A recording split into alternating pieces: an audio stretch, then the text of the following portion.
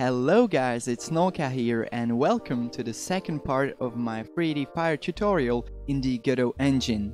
Today we are going to add a smoke effect as well as some little sparks above the flames. So let's get right into it.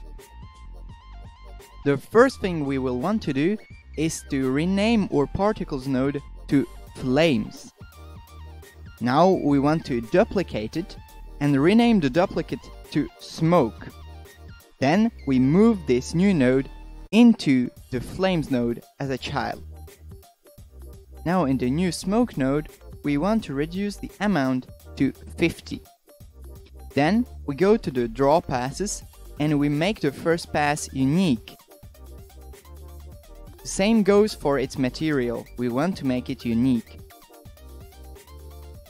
In the material, we want to go to parameters and set the blend mode to mix. We want each smoke particle to be visible for a longer time. To do this we go under the time section and increase the lifetime. I like it to be around 1.5, so let me set that. Now we need to set a new process material. So I will create a new particles material and here we can start designing our particle system. First of all, we want to disable gravity, so we set its y to 0.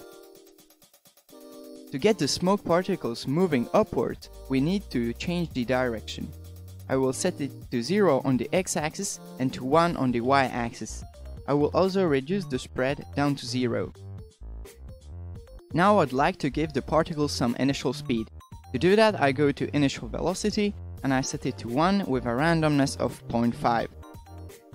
Now I will move the smoke particles origin to somewhere here above the flames. Next, I will set some linear acceleration. I like it to be around 2 and I will set a randomness of 1. We don't want the smoke particles coming from a single point, but more from a zone above the flames. In order to do that, we go to emission shape and we set the shape to a sphere of a radius of 0.3. The next thing we want to do is to set the scale of the particle. I will set the scale to 2 with a randomness of 1 and we want to define a new scale curve. In the scale texture, we want to move the first point to around 0.5.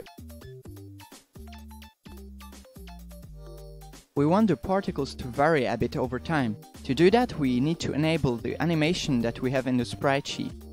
So we set the speed to 1, the offset to 1, and the offset random to 1 as well. We want each particle to start at a random angle. To do that, we set the angle to 360 with a randomness of 1.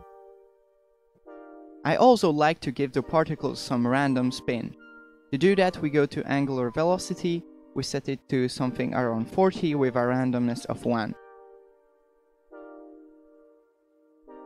Another thing we want is to set some radial acceleration. I like it to be around 0.2 with a randomness of 1. This gets our particles going a bit away from the fire. Last but not least, we need to define a color ramp for our particles. We go to the color section, define a new color ramp, and we will set a new gradient texture. I already made one and it will be available in the description. Of course, you could make your own and tweak it, make the fire blue or whatever. For example, I think that the smoke is a bit too transparent right now. So I will go to my gradient, select this point and change the color to increase the opacity a bit. Next, we want to add a little sparks above the flames, so we create a new particles node as a child of flames and we name it sparks. We want to set the amount to 80. We want to set a new draw pass. So we make a new quad mesh and we want um, the size to be 0.2 by 0.2 and we want to define a new material. In this material we check uh, transparent and unshaded and under albedo we want to use a spark texture that will be in the description. Uh, under parameters, we want to set the billboard mode to particles billboard and the blend mode to add. And in vertex color, we want to check use as albedo. Under drawing, we want to set the draw order to view depth and uncheck local coordinates. Under the time section, we want to set the lifetime to 0.5 and set the randomness to 1. Now we want to define a new process material to start designing the particle system.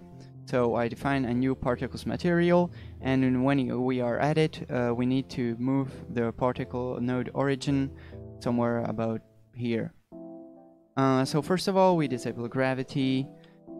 Next, the emission shape should be set to a sphere of a radius of 0.6 we want some initial velocity, so I will set it to 2 with a randomness of 1.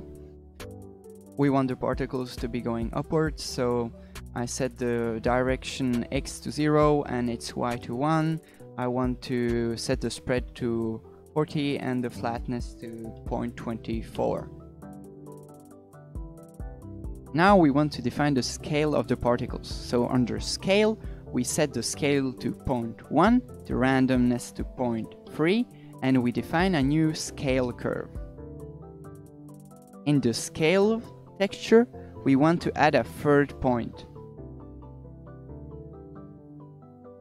The first point should be set to 0.5, the third should be around 1 and in the middle, and the last point should be set to 0. Next, under trail, we want to set the divisor to 5. We want to set the linear acceleration to 5 with a randomness of 1. The same goes for tangential acceleration, we want to set it to 5 with a randomness of 1. The damping should be set to 2 with a randomness of 1. And uh, last but not least, we want to set a color ramp once again.